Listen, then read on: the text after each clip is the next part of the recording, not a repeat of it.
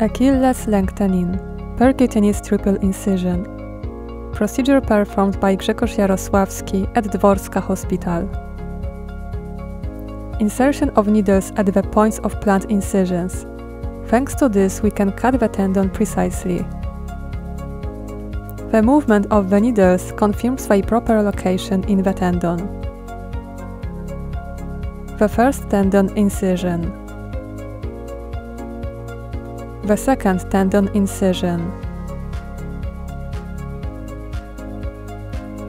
and the third tendon incision. Strong tension of the tendon and its elongation. Removal of the needles. After pre-surgical preparation, the entire procedure takes only 2 to 3 minutes. The skin incisions are about 3 mm, so they do not require suturing.